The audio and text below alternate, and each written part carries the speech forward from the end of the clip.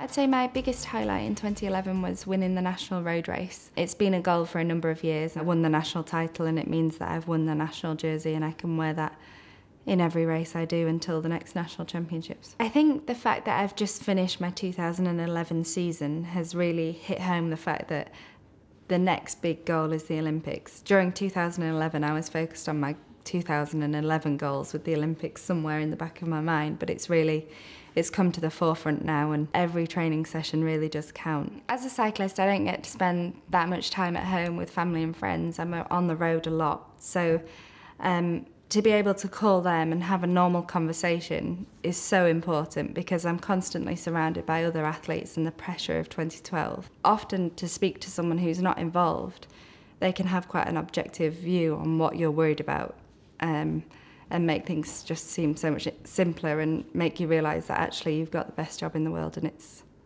nothing to worry about. The decision to choose between the track and the road has been really difficult. The reason I chose the road is because I'm passionate about the road versus the track, which is a team pursuit event. The team pursuit is a three and a half minute event versus a 140k road race. I think even a sports, a non-sports person can see that that's not really compatible. So I had to make the decision and I, I opted for the road eventually.